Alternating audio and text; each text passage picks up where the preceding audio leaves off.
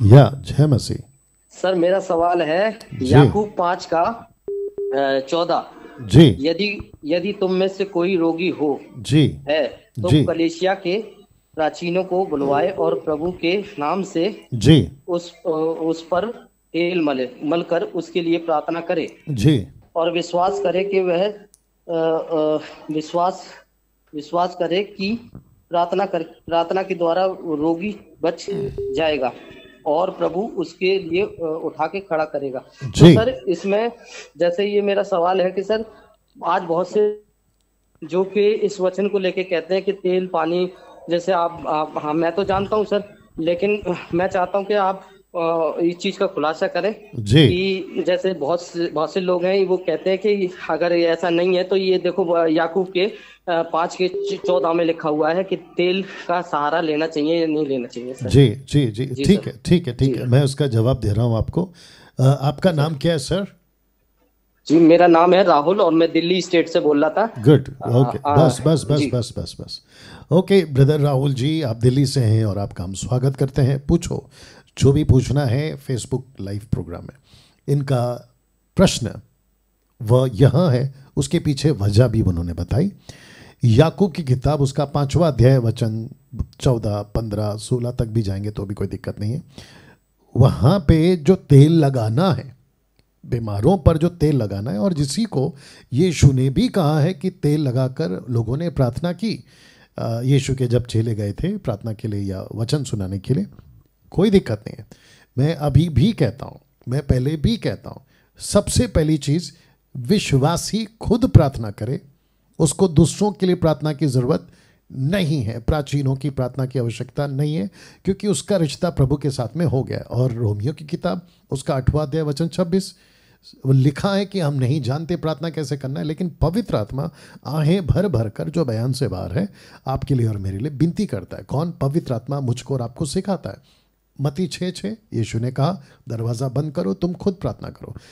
इस ही याकूब की किताब में, पाँचवें अध्याय में, वचन तेरह में लिखा है कि जो आनंदित है, वो स्तुति के गीत गाए, लेकिन जो दुखी है, वो खुद प्रार्थना करे। योएल की किताब, दूसरा अध्याय, अगर मैं गलत नहीं हूँ, अट्ठाईस वचन, कहता है कि जो प्रार्थना करे यर्मिया तैंतीस का तीन, कहता है, ये यदि तुम मुझसे मांगोगे, परमेश्वर बड़ी बड़ी बातें तुम्हें बताएगा। है ना? अब प्रश्न उठता है कि तेल का सहारा क्यों?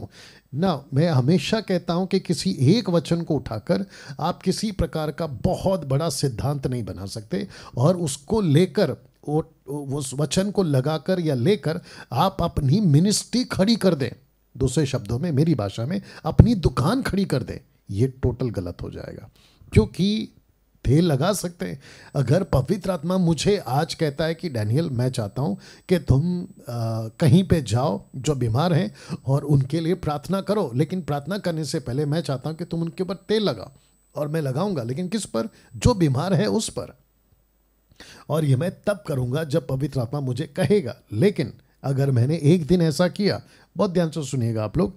अगर मैंने एक दिन ऐसा किया कि प्रभु ने कहा कि, डैनियल, इसके ऊपर प्रार्थना करो, तेल लगाकर मैंने किया और मैंने देखा कि वो ठीक हो गया। तो क्या इस आधार पर, उस बेस पर मैं अपनी मिनिस्ट्री खड़ी कर दूँ? कि अब से डैनियल राज के नाम पर मेरा फ़ोटो के साथ तेल की बोतल पर मैं स्टिकर लगा दूँ, मेरा फ़ोटो चिपका दूँ और यीशु का ये वचन, याकूब पाँच का चौदह, उस पर लगा दूँ और उसको बेचना शुरू कर दूँ। मुझे बताइए कहाँ तक सही है? ये टोटल गलत है। ठीक है, कुछ लोग कहते हैं कि हम तेल लगाए। तो लगाओ भाई, तेल लगाओ। आपका न्याय प्रभु करेगा, लेकिन बेचते क्यों हो? और ऐसे लोगों से पैसे लेते क्यों हो? जो नए लोग हैं। और दूसरा बता दूँ राहुल जी, आप ही सुनेगा दूसरा बता दूँ कि ये वचन, विश्वासियों के लिए नहीं है। कॉन्टेक्स्ट को पूरा पढ़ोगे तो लिखा है कि विश्वास की प्रार्थना के द्वारा जो व्यक्ति है, उसके विश्वास के द्वारा जो नया व्यक्ति लिखा है अगर उसने पाप भी किया हो तो उसकी भी क्षमा हो जाएगी। तो मेरा क्वेश्चन है कि विश्वासी अगर पाप कर रहा है तो फिर वो विश्वासी कैसे हुआ? है ना? अविश्वासी अगर आता है चर्च में याकूब का किताब को अगर ठीक से पढ़ोगे तो वहाँ पर विश्वासी और अविश्वासी। एग्ज़ाम्पल उसी का किताब का दूसरा अध्याय। लिखा है कि तुम्हारी सभा में अगर कोई सोने के छल्ले पहन कर आता है और कोई गरीब आता है तो वो चर्च की बात कर रहा है जहाँ लोग आते हैं। और आने दो।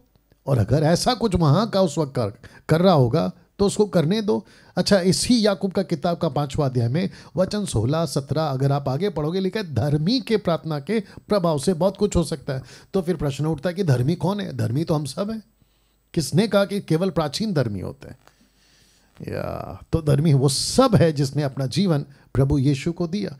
तो इस प्रकार की जो बातें लोग कर रहे हैं, एक वचन को उठाकर अपनी पूरी की पूरी दुकान खड़ी कर रहे हैं। कि देखो यहाँ लिखा है इसलिए हम तेल बेचेंगे। देखो यहाँ लिखा है इसलिए हम ये करेंगे। नहीं पौलुस के आ, क्या कहते हैं कपड़ों से लोग ठीक हुए तो इसका मतलब क्या है? जो पौलुस के साथ हुआ उसको पौलुस ने नहीं किया उसको प्रभु ने करवाया। पत्रस की परछाई से लोग ठीक हो गए। पत्रस ने ठीक नहीं किया प्रभु ने करवाया। और आज भी अगर प्रभु करवाता है तो कोई दिक्कत नहीं है। लेकिन क्योंकि वो हुआ इसके लिए हमें कपड़ों की रुमाल की दुकान लगा दूँ और कहूँ कि देखो डैनियल राज ने उसको अनाइंट किया है इसलिए तुम लोग सब खरीदो। ये तो टोटल मूर्खता है। मुझे साथ ही साथ ये भी पता चला राहुल आप लाइन पे हैं? ओके। राहुल ने नहीं सुना शायद। आ, मुझे यहाँ तक पता चला है कि कुछ लोगों ने पंजाब के अंदर कुछ लोगों ने स्वीट्स बांटे मिठाई। और ये बोलकर बांटा है कि उस महान मूर्ख को जो भी वो आदमी है मैं तो उसको सेवक में गिनती करता ही नहीं हूँ। कहता है कि उसको प्रभु ने कहा, दर्शन दिया, जो भी कहा। कहता है कि मिठाई पे प्रार्थना कर और जिस जिसको बच्चे नहीं होते हैं, उन सबको ये मिठाई खिलाना और वो जो है, उनको बच्चे होंगे। वाह भैया। यीशु के नाम से प्रार्थना कर देते, यीशु का नाम ले लेते, ये कर देते। ठीक है, चलो। आप, आपको आपको लगा कि मुझे प्रभु ने कहा कि मैं मिठाई का ये करूँ। ठीक है मेरा कॉन्सेप्ट ये मेरा प्रश्न ये है आप लोगों के कॉन्सेप्ट के हिसाब से कि आपने सबको मिठाई खिलाने के लिए प्रभु ने बोला है या किसी विशेष एक व्यक्ति को? क्या पूरे के पूरे चर्च को मिठाई खिलाने के लिए बोला है? कॉमन सेंस है। तो आपकी जो चर्च में लोग आते हैं, वो तो प्रभु के लोग हैं। और अगर प्रभु के विश्वासी हैं, परमेश्वर से प्रार्थना करें कि मुझे बच्चा नहीं हो रहा है तो मिठाई खाने से बच्चा हो जाएगा। एक और महाशय है, बड़ी सेवा है, बड़ी चर्च है, बड़ा नाम है, नाम तो लेता नहीं हूँ। महामूर्खों का सरदार बोल सकते हैं उसको। ये नया नाम दे रहा हूँ मैं उनको।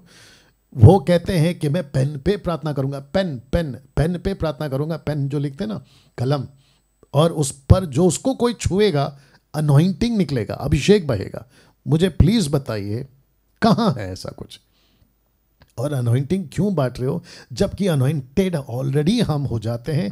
पहला यौना दूसरा अध्याय वचन सत्ताईस first John chapter two verse twenty seven वहाँ लिखा है कि तुम्हारा वह अभिषेक in English that anointing anointing वह अभिषेक होली स्प्रिट को बताता है ओरिजिनल मैन्यूस्क्रिप्ट में। तो जिस दिन यीशु का अभिषेक हुआ था, लुका चार अठारह के अनुसार, उस दिन मेरा और आपका हुआ था। तो हम पहले से ही अनोइंटेड है। तो मैं पेन पकड़कर कौन सा अनोइंटिंग हासिल कर रहा हूँ? इसको कहते हैं ये दूसरा प्रकार का आत्मा है ये दूसरी प्रकार की सेविकाएँ है। इन सभी चीज़ों को आपको और मुझे समझना होगा। अगर इतना अनोइंटिंग बट रहा है आ, लोगों में पंजाब के चर्चों में इतना अनोइंटिंग बन रहा है या बट रहा है तो फिर उस अनोइंटिंग का असर क्यों नहीं दिख रहा है? या अनोइंटिंग का असर क्यों नहीं दिख रहा है? आपके चर्च के लोग अभी भी बीमार है। आपके चर्च में बीमार की लाइन अभी भी लगती है। तो बेस्ट है ना आप खुद प्रार्थना करो सबको पेन दे दो या पैसे से दे दो और कहो कि तुम सब ठीक हो गए अगले संडे से। तुमको कोई भी बीमारी की लाइन में खड़े नहीं होना है। लेकिन क्या देखा जाता है कि आपके चर्च में तो लाइन की लाइन लगी रहती है और ऊपर से आप पैसे भी लेते हैं। तो ऐसा किसी प्रकार का एक वचन उठाकर राहुल आप सुन रहे हेलो या या। तो ऐसा किसी प्रकार का कोई भी कॉन्सेप्ट बाइबल के अंदर नहीं है और ना ही उसको एक वचन के आधार पर कोई सिद्धांत बनाना है राइट जी जी बिल्कुल बिल्कुल। Yeah yeah thank you Rahul ji ji. Sir अच्छा, मैं जी जी। एक अगर मतलब यही चीज़ आपको एक थोड़ा सा कहना चाह रहा था। जी। हेलो। जी जी। आप बोलिए मैं सुन रहा हूँ। ये कहना चाह रहा था जैसे आपने सर बच्चे वाली बात करी जी। तो एक मेरा फ्रेंड है जी। तो विश्वासी है ठीक है? तो वो मतलब कहीं और जाता है बट आपकी मसी मंथन बैठक से नहीं जुड़ा हुआ है तो वो कह रहा था बंदा मेरे को वो कहता है कि मैं मेरा एक भाई है ताऊ का लड़का वो कहता वो कह रहा था कि मेरे 16-17 साल से बच्चे नहीं हुए हैं 10 दस बारह साल से 16-17 साल से जो भी है। तो कह रहा था कि मैंने उसको बताया कि एक ऐसे पास्टर जी हैं वो पास्टर जी गारंटी से कहते हैं कि मेरे यहाँ आओ तो गारंटी से लड़का होगा। तो मैंने की तो प्रभु का काम ही खत्म हो गया। जी इस तरीके से सर लोग आजकल इस तरीके से लोग आजकल प्रचारक हैं। मैं किसी का नाम तो नहीं लूँगा। मैं नाम बता सकता हूँ लेकिन यहाँ पे मैं नाम नहीं लूँगा। और आप शायद समझ गए होंगे ऐसे कौन से। प्रचारक हैं और किस तरीके के लोग हैं जो ये इस बात का दावा करते हैं कि हमारे यहाँ चर्च में आओ हमारे सभा में आओ तो गारंटी से हाथ रखने से लड़का होगा। इस तरीके की बातें सर मेरे अ, मेरे सुनने में भी आई और सर। देखने में भी आती है। जी जी जी जी। मैं जानता हूँ इस बात को लेकिन सब आ, गलत ट्रैक पे चल रहे हैं। बस प्रभु उनको अक्ल दे और वो समझे। ठीक है राहुल आपकी एज क्या है? आपकी एज क्या है? सर मेरी एज है चौंतीस साल सर। चौंतीस साल। और आपने प्रचारकों का झुंड जो मैं तैयार कर रहा हूँ आपने उसको ज्वाइन किया? सर उसमें मैं जुड़ चुका हूँ बिल्कुल सर। मैं आपका हर प्रोग्राम देखता हूँ सर जुड़ चुका हूँ। और Good, good. मैं सर जब से आपसे जुड़ा हूँ प्रभु ने मेरी बुद्धि और समझ को प्रभु ने खोला है और मैं सर पहले मसीह जीवन को बहुत ही हल्के में लेता था लेकिन आपके वचन के जैसे प्रभु के दास के द्वारा। यानी कि आपके द्वारा सर मुझे पता लगा कि मसीह जीवन वास्तव में है क्या? बहुत हँसी ठट्टा और ये सब चीज़ें नहीं है मतलब बहुत बहुत सी गंभीरता का जीवन है और दुख और कलेश उठाना यही चीज़ है और ये चीज़ों को मैं सर समझ पाया बहुत अच्छी तरीके से और और भी प्रभु मुझे समझने के लिए मौका दे रहा है sir. Ji thank you Rahul God bless you ji Rahul